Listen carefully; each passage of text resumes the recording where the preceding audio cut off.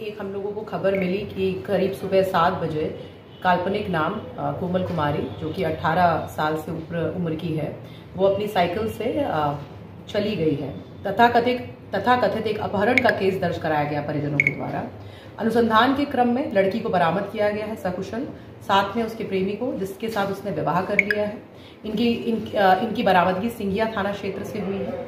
लड़की ने बताया कि दो वर्ष से उसका प्रेम प्रसंग का मामला चल रहा था।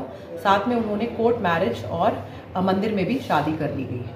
तो विगत दिनों रहुआ मनी में इसी घटना को एक भ्रामक खबर फैला करके चलाया गया, जिसके लिए पुलिस ने जिन लोगों ने भी उपद्रव किया है, पाँच घंटे रोड जाम किया है, उनके खिलाफ एक कांड दर्ज किया गया है और कार्रवाई की जाएगी। मेरी अपील है कि बिना किसी अनुसंधान के इस तरीके की भ्रामक खबरें ना चलाए। ये पूर्णतः एक प्रेम प्रसंग का मामला था और इसको एक बेवजह डिफरेंट तरीके का मोड़ दिया गया।